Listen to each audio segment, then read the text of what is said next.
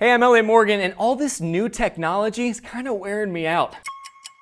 Technology seems to be integrated into like everything these days. There's watches and glasses, and now hoodies. Mashable recently profiled a smart hoodie which uses a GSM chip and an Arduino board to recognize your gestures. Computers! With the smart hoodie, you can do things like text your friends and activate Skype by simply rolling up your sleeves or touching your hood. That's super cool. Um, I just have one question Now don't get me wrong, I think the NYC grad students who developed the smart hoodie are probably geniuses, but for the time being, I'm perfectly happy rocking my old school dumb hoodie. Rolling up my sleeves to access Skype just seems like a disaster waiting to happen. It's like, okay, I'm a little warm. And then my parents are on the computer and there goes my afternoon.